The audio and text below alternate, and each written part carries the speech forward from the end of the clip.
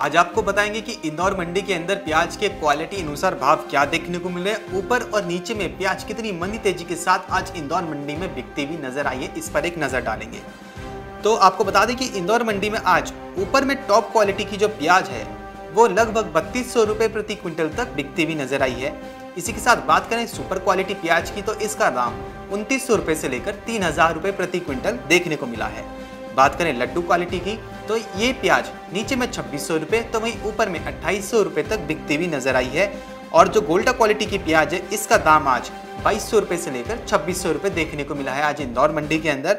बात करें अगर हल्की क्वालिटी की तो ये प्याज चौदह सौ रुपये से लेकर बाईस सौ रुपये प्रति क्विंटल की दर से बिकती हुई नज़र आई है आज इंदौर मंडी के अंदर। आपको बता दें कि इंदौर मंडी के अंदर प्याज के जो दाम है ठीक ठाक ही देखने को मिल रहे हैं। हालाँकि थोड़ी हल्की नरमी आई है, क्योंकि सरकार ने जो अपना बफर स्टॉक बाज़ार में उतारा है, उसके चलते थोड़े प्याज के जो दाम है, उनमें एक हल्की फुल्की नरमी देखी गई है। Bureau report, Market Times TV.